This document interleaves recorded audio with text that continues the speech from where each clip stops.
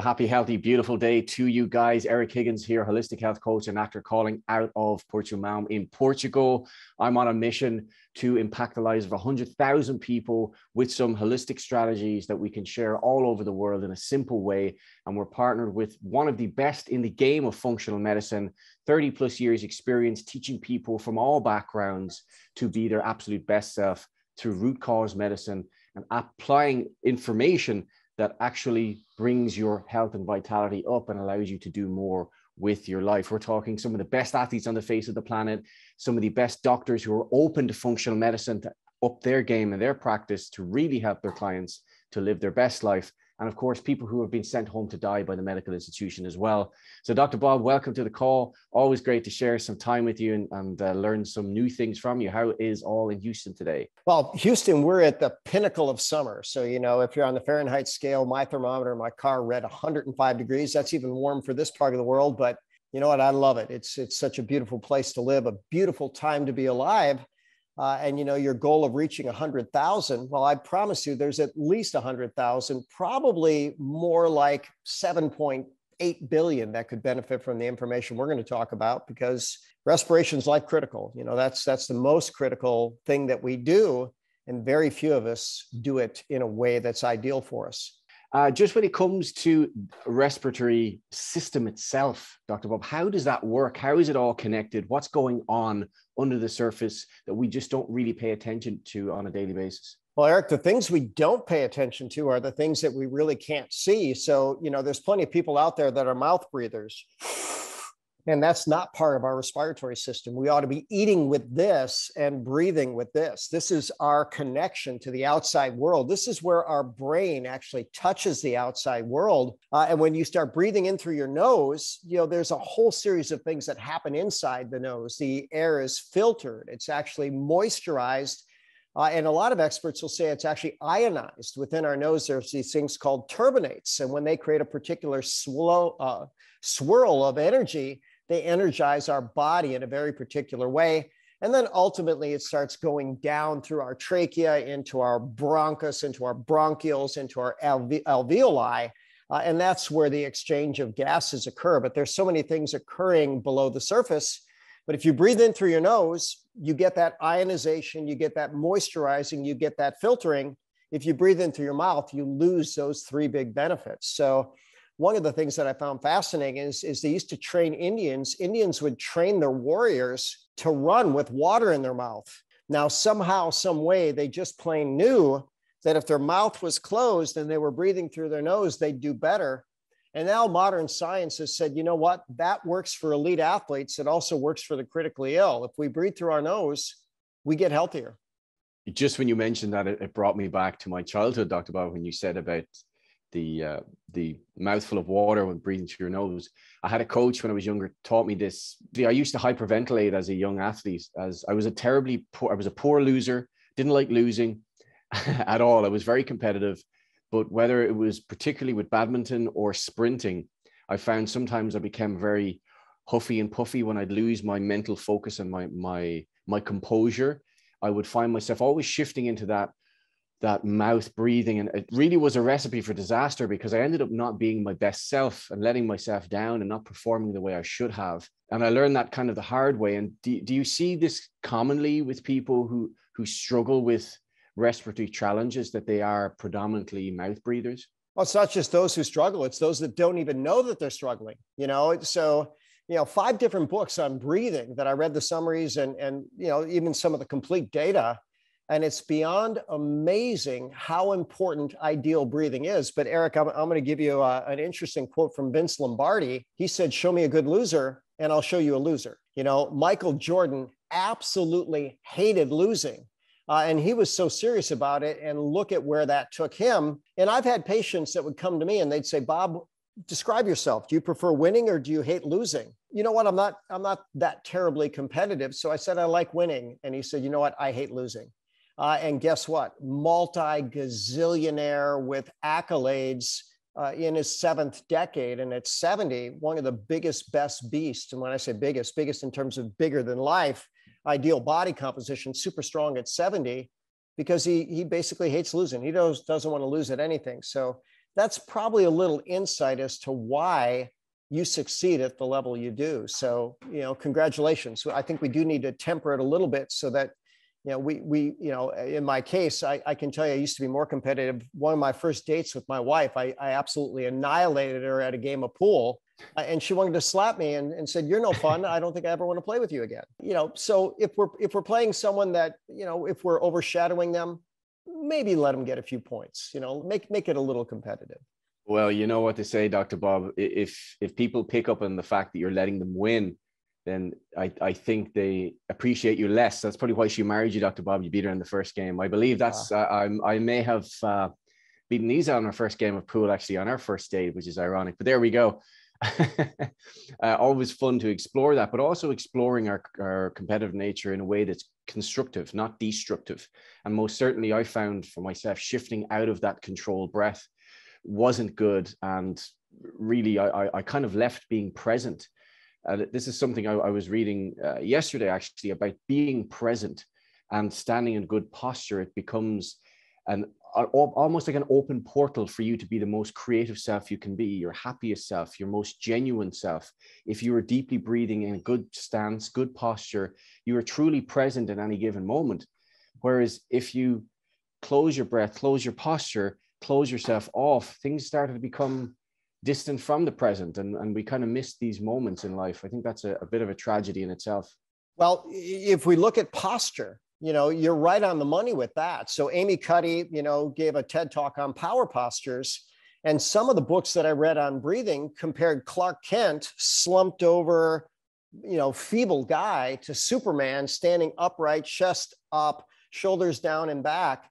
Uh, and you know, we, we even now know that our posture impacts our hormones. So we have more dominant, successful hormones standing upright, shoulders back, and less stress hormones, and vice versa. And that's in both men and women. So, you know, taking that deep breath, having that good posture, having that chest upright, those shoulders down and back, critical to wellness. And it might just be that it's the oxygenation that's the critical key there. You know, I wonder if we put people in a better posture and plug their nose, and they've done those studies. They they obstruct people's nasal cavities, and their entire physiology is disrupted in a very short period of time, and in, in not a good way, in a very unhealthy way.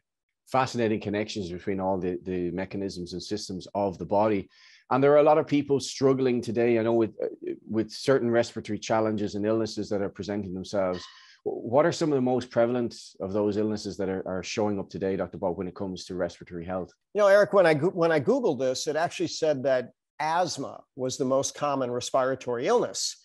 Uh, but you know what? Why don't we just go with the common cold? Because most people are going to be exposed to the common cold, and about one third of those common colds over time have basically been, you know, coronaviruses, which is so fascinating there. So you start looking probably upper respiratory infection most common. Then we get into asthma then we get into things like allergies then we get into bronchitis chronic bronchitis uh, uh, emphysema. You know that and chronic bronchitis are in the category of chronic obstructive pulmonary disease and that's not a pleasant existence. And then we might even go to lung cancer which is one of the most lethal cancers out there. So those are the list of the most common things that people experience but you know, I've, I've said for years, my first law, we called it Rakowski's law, healthy bodies don't get sick. That was my first law. Uh, and I've had yet to have anybody d- dispute that. You know, if we're ideally healthy, we're not going to get sick. And it may just be the starting point is that good breath. And for many, if they actually discipline themselves to breathe appropriately, it may just be the thing that changes their entire life around for the better you mentioned with asthma being one of the top issues that people may have with their respiratory system. That's usually accompanied, from my understanding, from a GP's point of view, with an inhaler or some form of strategy of medication. But where does functional medicine come in, Dr. Bob? What, what would you prescribe to someone who comes in demonstrating some of these illnesses? What's the functional medicine approach to that? Well, Eric, we want to know what's causing the problem. And, and so you look at the medical literature, and it's very clear. They call asthma a silent inflammatory condition of the airways. And then you look at the medical model and they say, well, there's no cure. But then they say, but oddly enough, there's people that seem to grow out of it where they have a lifetime remission. So here's the deal if it can be resolved in one, why don't we find the common factor and attempt to resolve it in all? So it would be anti inflammatory. Now, breathing appropriately, here's a, a, very fascinating thing, Eric, and this is in the research just last week to this week that I came across this. When we take a nasal breath, the chemistry of our nose, the turbinates, the mucous membranes, and, and the filtering, they actually increase nitric oxide. Nitric oxide dilates blood vessels, dilates airways, and in and of itself could actually be a cure for what's going on. When people become progressively inflamed, they deplete nitric oxide and they can have that silent inflammatory condition of the airways. So, you know, what's the functional medicine point of view? Eat right, drink right, think right, move right, sleep right, poop right, talk right every day. If we break those down, eat right, an anti-inflammatory diet. If God made it, it's okay. If man made it, stay away. Stay away from refined foods, simple starches. Uh, drink right, you know, water, and, and, we like extremely turbo potentized coffee and tea infused with top superfood on the planet, reishi. Think right. When you buffer your stress, you're going to breathe more effectively. And even think to keep your shoulders down and back, your chest expanded. Move right, the primary movement of the diaphragm. Most people don't move their diaphragm as much. They don't get that good, deep belly breathing. They don't expand the chest. And the very first biomarker of, of healthy aging that I came across over 30 years ago, I, I wanted to break it down and say, what do we know about healthy aging? Primary marker 30 years ago was considered vital capacity. How deep a breath could you take?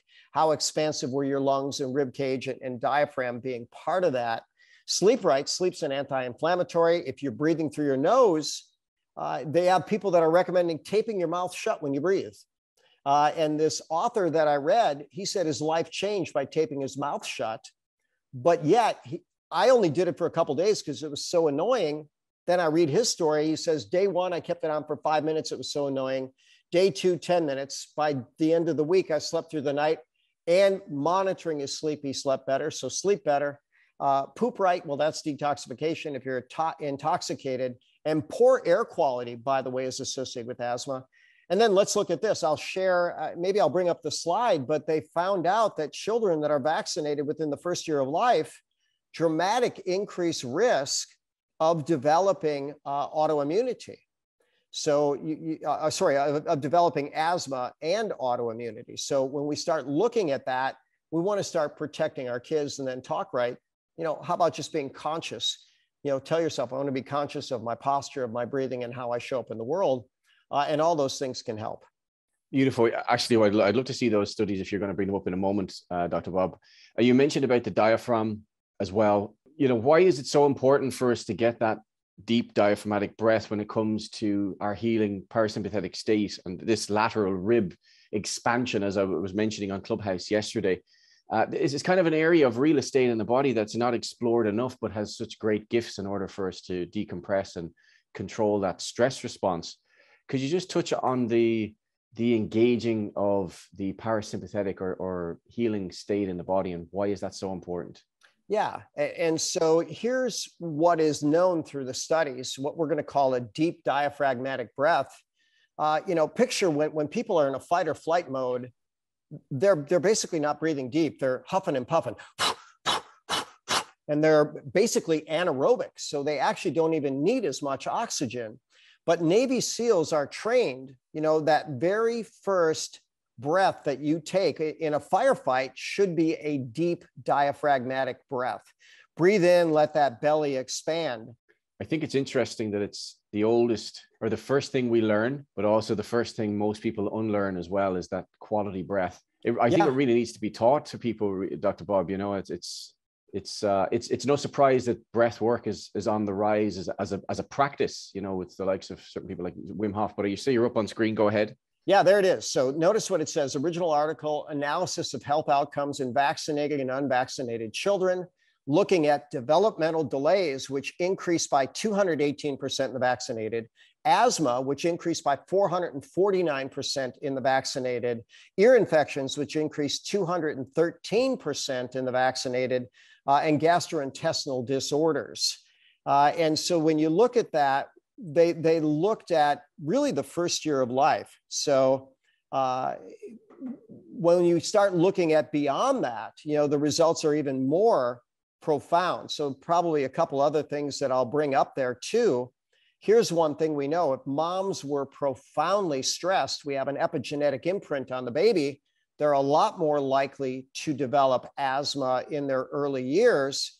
Uh, when people have, uh, when they live in areas of air pollution, again, a lot more asthma. So we're seeing a lot of factors come in. And you know, you have to wonder how many kids weren't vaccinated in their first year of life. Probably not that many. And we see this global pandemic of asthma. How many are living in polluted environments? Way too many. How many people had moms that were stressed during pregnancy? Way too many. What we're beginning to see is if we put a child in a healthy mother in a healthy environment and we don't intoxicate them, and I would say for literally no reason in their first year of life, they're going to do a, a whole lot better. And just speaking of medical practices when it comes to kids or anyone really, when anyone presents with, uh, let's say, a respiratory tract infection coming into their, their GP, a lot of times they, they end up being put on an antibiotic, which is pretty common. I know we spoke about antibiotics before when it comes to respiratory issues, uh, but it's it's not really a long term solution for that. Is there a better way than just going down the antibiotic route and taking the prescription? you know, it's it's it's never the only route, and it's never a long-term solution. Uh, but you know, Joseph Mercola, very interesting character. He's got he had at one time it was the most popular health promoting website on the planet, uh, and he got shut down. He got censored. In fact, they threatened to kick, kick him off of all platforms because he was sharing natural remedies for for a recent virus. But he interviewed a medical doctor that was a big fan of what we call nebulizing hydrogen peroxide. So I'm going to share my screen again. I'll share the PubMed study. But ultimately, if they put hydrogen peroxide uh, directly diluted in this little mister called a nebulizer, and it's a it's a portable device, and uh, you know this one I think was thirty nine dollars, thirty nine ninety five. So, this 2021 PubMed study, hydrogen peroxide is a widely used, highly accessible, and available chemical whose compound efficacy has been demonstrated on several human viruses, including coronavirus and influenza viruses. That's 2020 21 PubMed. Well, we go a little further. If you were to look up hydrogen peroxide, it's how our white blood cells actually kill yeast, parasite, fungus, bacteria and what this doctor said, he said it very boldly. He said, No one should ever have a sinus or upper respiratory infection ever again. If they would, he was under the impression, and this was after treating many thousands of patients with nebulized hydrogen peroxide. He said, No one ever needs one of these infections again. So if you look at antibiotics, well, what percentage of upper respiratory infections are, are bacterial? I don't know the answer to that, but I would suggest it's a minor amount. Uh, and then you look at virus. Virus is most common. What do antibiotics do against virus? Absolutely nothing. And so uh, I don't know if I, I, might have a beautiful friend, Bonita Harris. Uh, she's a doctor uh, in Atlanta, but she said, Dr. Bob, uh, I want to share with you this info on uh, nebulizing hydrogen peroxide when she saw that we were talking about breathing. Now, I want to give a big shout out to Bonita. Thank you for calling that to my attention. Uh, there's other doctors that say you can do an iodine solution because iodine is profound, powerfully anti-infective, again, including viruses, bacteria, etc. So powerful, powerful stuff. So certainly with the bacterial uh, respiratory infection, th- that would require an antibiotic, Dr. Bob, or no. will that run its no, no, not, not, not require. And, and so if we keep in mind, is the antibiotic going to work? We don't know till we try, but is it going to kill off your regular microbiome? It absolutely is what this doctor said if you actually nebulize hydrogen peroxide, you would not disrupt the healthy microbes within your body. And it is antibacterial as well. And again, he made the statement, powerful statement. He says, no one ever needs to have a respiratory infection again. That's a pretty powerful statement. Sure is. I can see why they'd like to censor that chap. But there we go, right? Uh, a lot of money to be lost when the information comes out that doesn't serve a narrative. When it comes to the approach from Wim Hof. I see his breath work has, has kind of come to the forefront after the last, I guess, 10, eight to 10 years because he's been so out there with some of his experiments and showing what the body is capable of and sharing his journey of deep pain and then discovery of the cold and, and deeper breath work. What have you seen from, from the likes of his exposure and, and coaching for people that is quite positive and is, is something that people should really look at? Well, you know, a big part of Wim Hof's therapies are breath work. And what's fascinating is breath work goes back thousands of years. We're talking about millennia. I mean, the monks would do it, the yogis would do it. It was, it was found to be absolutely critical to change your state. Now, I'll tell you, I've taken breath workshops and I've taken Wim Hof breath workshops, I've taken shamanic breathing workshops, and you just need a good hour of that type of thing to realize that it is profoundly impactful on your entire physiology. So, Joe Rogan interviewed James Nestor, who wrote the book Breathe. Uh, and he had a lifetime of breathing problems. And he went to a breathing coach. And the guy said, Look, just breathe through your nose. Tape your mouth shut, breathe through your nose. And this guy found so many profound changes. He's dedicated his life to the study of it. But Joe Rogan asked him, you know, what about Wim Hof? He says, look, just breathe. You don't need to breathe through your mouth or nose. He says, what Wim Hof does is he has the people essentially hyperventilate to change their chemistry. And when they do that, as much as they do, they will drive the parasympathetic nervous system. They said that's what they're going after. And Wim Hof has proven. Now, is he an outlier in his capacity? Absolutely. But he can control his autonomic nervous system to the point where he's measured changing the blood pressure in one arm while leaving it the same in the other. And we're not talking about a few points, we're talking 20, 30 points. So, do we have or do we have the potential to create more control of our health and wellness in life than we ever realized? Oh, absolutely. Uh, and I really think that's the future, really getting in touch. So, keep in, uh, in mind one of the oldest and most powerful pieces of wisdom ever know thyself. Well, how about knowing how you breathe and how it impacts your physiology and how to optimize it? Those would all be good things to know. It really demonstrates that we're touching the surface only on our potential, you know, for what we can actually do. So opening the doors to be curious, I think is such a is a gift, you know, really pursue that, give it some time, discover it, learn more about yourself and be curious in every area area of your life and, and get different opinions on things. But uh, I, I, certainly thought that was fascinating to some of his journey and, and how he came through a serious struggle with the loss of his wife to really discover himself, as Dr. Bob just mentioned, know thyself. I think that was that Sun Tzu, I think he famously quoted with that. I think it could have been, but it may go back uh, that far, and it's been all over the world, though many cultures. So it, it's yeah. not one culture that said it. Who said it first? I don't know, but it's a no, it's an important tidbit of, of advice. It sure, it sure is. We'll tip tip our hat to him anyway if it was his.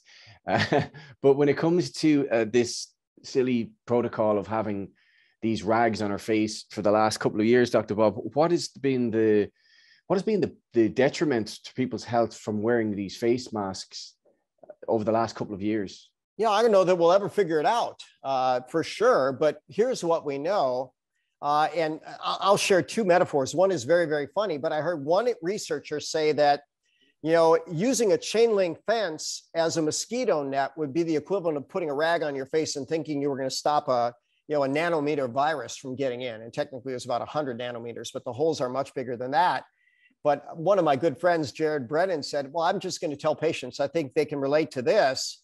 It's like thinking that your underwear will actually trap your your your gas. He says basically saying that your underwear will protect your fart from in, you know getting the other people. Well, I promise you, you know, if you're in a crowded room and and uh, I wouldn't give that a try, you know, because it would be about as effective as a mask. And and you know, it gets a lot of chuckles. And I'm not seeing a lot of faces on there, but I'm seeing Adri chuckle and you know what? I chuckled too when I heard that. I thought that'll stick. You know, wearing a, a rag on your face thinking you're going to stop a 100 nanometer virus is about the equivalent of thinking that you can wear a standard pair of underwear farting and not have anybody else detect it. It's, it's just absurd. I also uh, heard about certain kids who are having uh, uh, rotting teeth and that because of the, I guess it's the recycled carbon dioxide through you know that exposure blocking that respiratory pathway i mean it's it's such a terrible thing for kids to, especially you know if they're there eight hours a day in school or six or seven hours a day in school and they're expected to have these on their face for such a long period of time, you can only imagine that there would be issues with oral health as well. You know, Eric, I, I wrote a whole bunch of medical exemptions to at least the parents that knew to think about it. Uh, and, and very, very simply, they were all granted where these kids didn't do it. I personally don't know why every parent didn't look and say, is this helpful? No, it's not. Is it harmful? Yes, it is. How can I get my kid out of it? And you know what? A doctor can write an exemption. And, and you know, in Texas, it was easy enough to do. Uh, and there was not one single kid whose medical exemption was refuted by the school. So guess what? Were these kids sick? No. You know, did, they didn't infect anybody. They didn't get infected. But what did they do? They had a better day with better chemistry and physiology. Uh, and in, instead of, you know, having days which, you know, those rotten teeth, you're not going to undo that. Some of the damage to the chemistry that can be feed forward where people might have a lifetime of challenges. And what are we seeing? Massively enhanced global death rate, not among the pediatrics. Uh, I haven't seen those numbers, but 18 to 44. Oh my gosh, the death rate is up, you know, nearly double around the world. So what's going on here? You know, uh, I think we'll answer that time enough. You know, some people will say, well, it was the policies and, and the forced medical experiment. But the medical people will say, no, no, what happened was these people didn't go to doctors and they had something brewing and they didn't get it assessed and they're dead now for it. Oh, really? Mm. You know, mm. I, I'm not buying that for a microsecond, not mm. for a microsecond. and all the circle just keeps going around and around. Uh, you know, I, I was listening to someone else who's a bit of a, a rebel in their own right recently talking about resistance to policies and ideas that they know in their heart of hearts do not serve people. And his response was a non-violent resistance and a stand. And uh, like you just said there it's just like when you ask the question and, and get an exemption and, and do your due diligence and really look at what information is being given to you you really start to ponder on these things a whole lot deeper and probably need to take an extra few breaths on that as well. Let it resonate with you and, and see where it leaves you but when it comes to our superfood, the king of all herbs, Ganoderma, also known as reishi or Lingzhi, you mentioned about a Nobel Prize winning molecule uh, of nitric oxide earlier on the call and, and the connection between this and our ability to breathe and dilate blood vessels. How powerful is our favorite superfood, Dr. Bob, that we have in our daily coffee and tea and share with the world and is, is a core part of our mission to help people around the globe be healthier, breathe better? How powerful is it for the airwaves and for our overall health? Well, I'm going to give you a couple quotes from the medical literature. So one is that Ganoderma reishi is a powerful regulator, modulator of nitric oxide. It especially reduces the most destructive form, inflammatory nitric oxide. Uh, but the medical literature says that it dilates airways by more mechanisms than prescription inhalers. Uh, and so I'll share that screen in that PubMed because I, I think it's just that powerful and people need to know you know, if you were going to go and, and do something for your wellness, it seems that, you know, this would be near the top of your list. But Ganoderma modulates airways, opens airways by more mechanisms than prescription inhalers. And the PubMed ID is 260-04313. Uh, and it's also a very powerful allergy modulator, which is a big part of what happens uh, with asthma. And so if we can get rid of the cause, all the better. Uh, and then the nitric oxide connection, powerful, uh, Nobel Prize winning, and it spills over not just airways, but immune system and sexual function and brain chemistry. Uh, and really longevity. I wouldn't doubt that if it doesn't already exist, I didn't Google this, but I, I, it might be interesting to look at nitric oxide status and longevity. But I did Google one thing about uh, vital capacity, breathing, and longevity. Uh, and let me let me share this study with you, which is so fascinating. They've actually mapped out how long people are projected to breathe with lung function as quantified by something called a, a spirometer. It actually measures how deep of breaths that you can take. And notice when people were above average breathing, you know, they kept lung function into their 90s, meaning they were going to live that long. And people that were lowest you know, they were typically gone by about age 62. So you're looking at 30 extra years and certainly quality years. And that's a 2021 study. So ultimately, people that breathe better will live better longer. Awesome. And of course, we also have a cordyceps as well to share with people. And I find, particularly with that for training performance, the combination of reishi and cordyceps in our delivery systems are particularly beneficial and just allow you to do more with the body. So whether it's you're breathing for just general well-being and your health, or you're breathing for that next level of performance and energy output, how effective is the combo of, of medicinal mushrooms like cordyceps and reishi as a, as a duo? So there's a gentleman named Eliud Kipchoge who run the who ran the sub two hour marathon. Uh, and how did he do it? With reishi and cordyceps and good training, and you know there's there's a lot of other things that came into it. But you know there was actually an Irishman, Stevie McEwen. I don't know if you know Stevie, but I did a nutrition consult with him about eight years ago. Sure. Uh, he ran 100 marathons in 100 days and actually got faster along the way. And he consumed the red tea with reishi and cordyceps in it. And you start looking at that and you come to realize, wow, you know, if these elites are taking their game up, and here's what I'll tell you, it's a lot harder to get an elite to pick up his his game than it is, you know, to get someone who's very sick to get out of bed.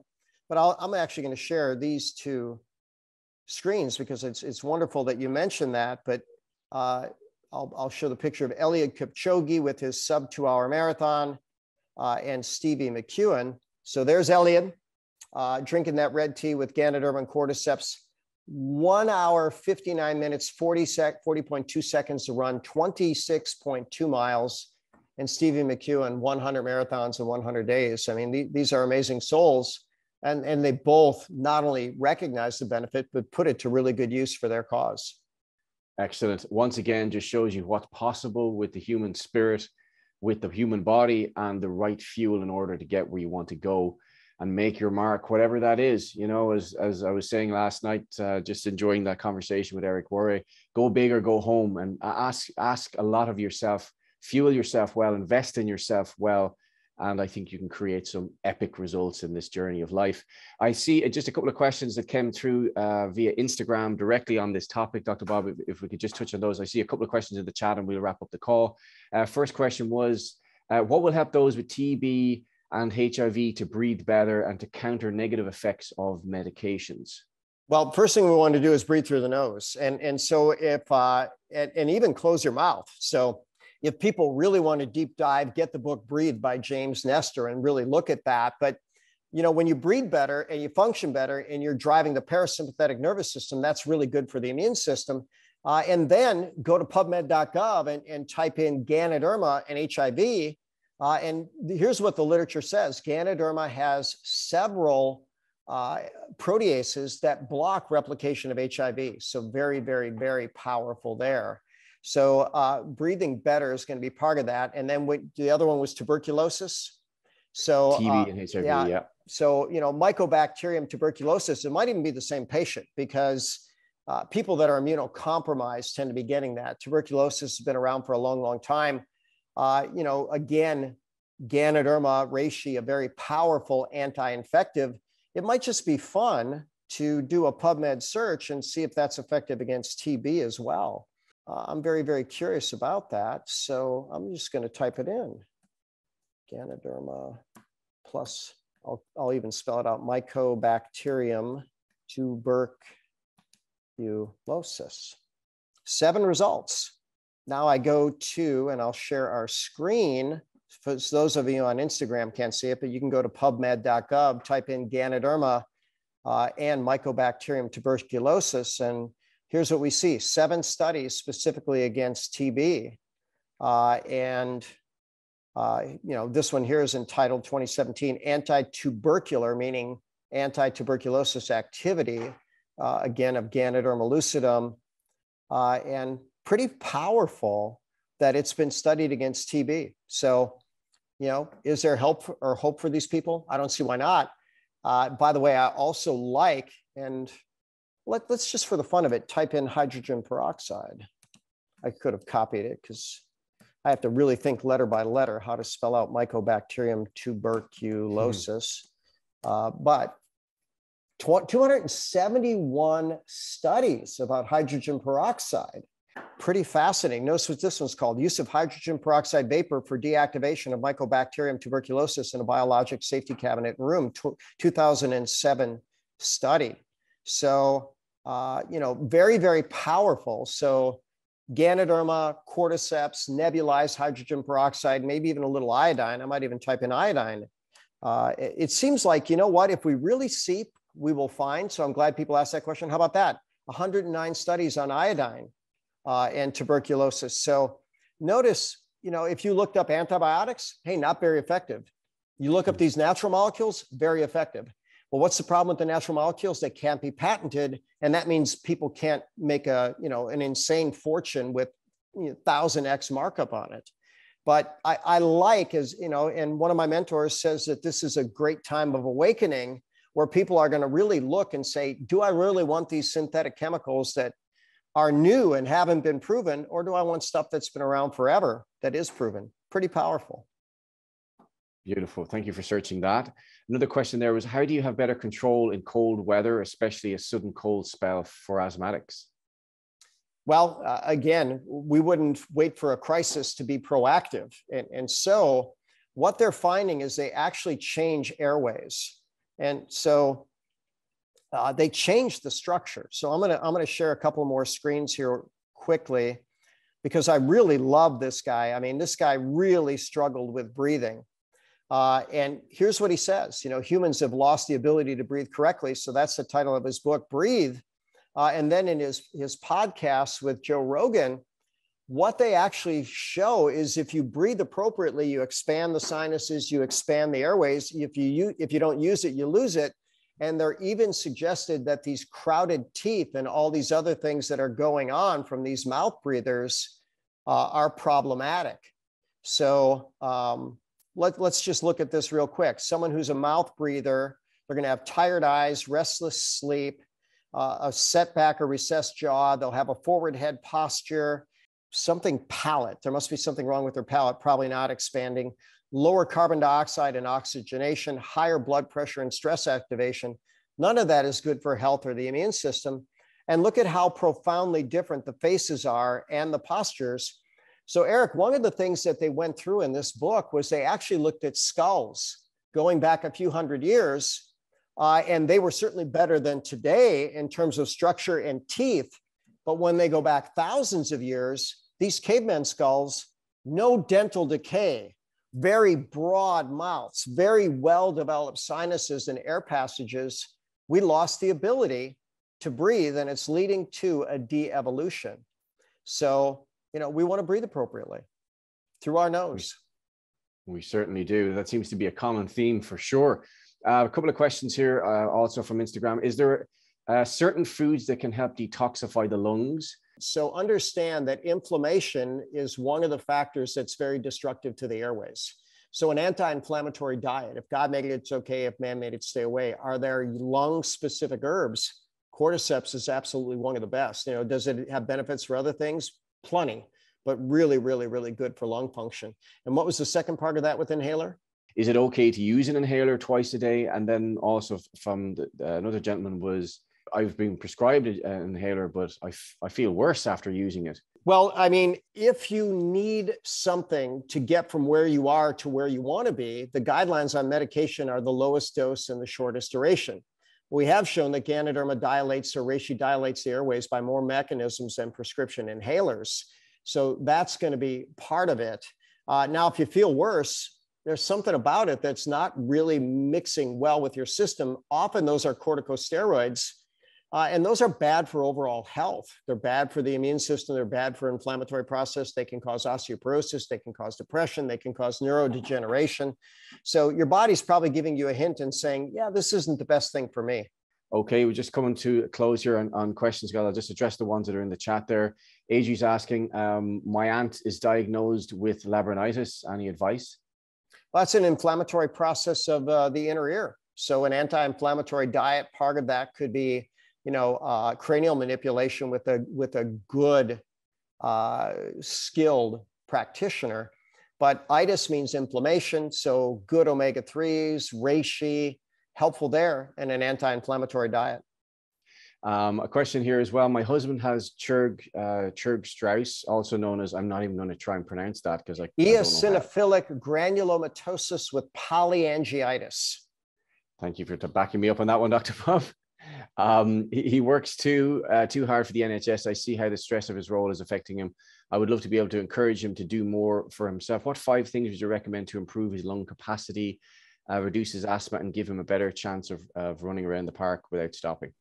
Um, she uh, this is from Sarah. She drinks OG, but uh, he is he is refusing as I'm now starting to trade, this might change. Well, so when you, you start getting all these questions, anything eosinophilic means it's allergy, and that means the immune system is not ideally regulated. So go to my YouTube channel, look up immune modulation, which is good for allergy or autoimmunity, but there's a six tier approach that's proven in the medical literature. So you're going to get six instead of five, but you're going to seal and heal the gut. Uh, you're going to give some nutrients that are very well known to enhance or reduce the inflammatory process. That would be DHEA, which is over the counter here in this part of the world, the activated form of omega 3s, vitamin D through it, and I like it with a K2 combination. Uh, and then the two Chinese botanicals, reishi and perilla Uh, and so, if we modulate the inflammatory process and the allergy response, we can help them get better. And it's also known that bioflavonoids are very, very good for uh, allergy response. And uh, quercetin's been getting a lot of press lately because it seems to have extra benefit for people with a, a, popular or maybe not so popular modern virus, but one that's in a lot in the literature. So you got six things, but go to my YouTube channel and, invite them to the replay.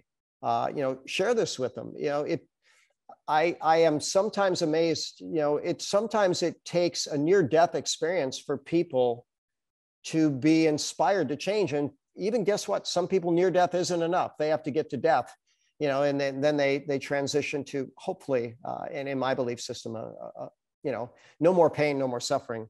So, uh, but, you know, if they want to be around longer and healthier, make healthy, healthy choices for sure. Experience certainly trumps knowledge, but the knowledge helps for those who need it. Uh, last year, Rose a question. I had COVID. The scariest part is trying to breathe in oxygen, which is all year round. I was suffocating. Thank God I had reishi red tea with me. Uh, I made it uh, ASAP. Almost immediately, my lungs opened up and I was able to breathe again. I also developed painful lumps on my head. Uh, Dr. Bob told me to increase my intake of mycelium, which I did, and it went down. Thank God with the guidance of Dr. Bob, which is uh, awesome to hear. Um, Claudio is starving your body of oxygen will only negatively compound and worsen your environment. Certainly will. I'm sure we uh, we could agree with you on that as well. Last question then is Dr. Bob, how do you know if you're nose breathing while you're asleep? You uh, tape uh, your mouth you know, shut. You tape your mouth shut. Uh, and go. and you know what's what's fascinating is I tried that. You know, I, I, I tried it many many years ago when I read about it. it was so obnoxious. I, I didn't even make it through the second night. Uh, but James Nestor said it took him a week to get used to it. I went on Amazon and I he said, you know, picture a Charlie Chaplin mustache, just a little lower. Uh, and ultimately, they have these little X strips that you go across. So if you need to get your mouth open on the corners, fine. But you know, taping your mouth shut can be really, really, really powerful. So consider that.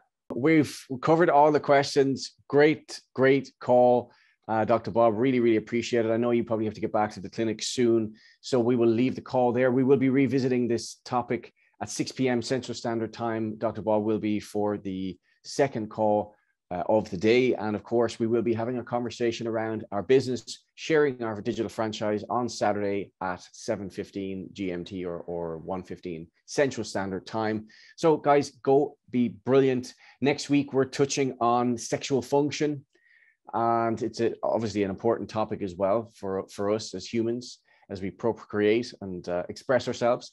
So we'll be touching on that and everything around holistic health and functional medicine in that regard as well. So Dr. Bob, thank you so much for sharing this uh, time with us. Your knowledge was just unbelievable as always. Everyone on Zoom, thank you for joining us on Instagram as well. We really appreciate you coming here and all your questions. So have an epic day. I'll leave the last comments to you, Dr. Bob, to close out the call. I'll just close with this. I'm Dr. Bob Rakowski absolutely knowing that we can all be happy, healthy, and successful. So, good night in that part of the world, good day in this part of the world, and God bless to all everywhere.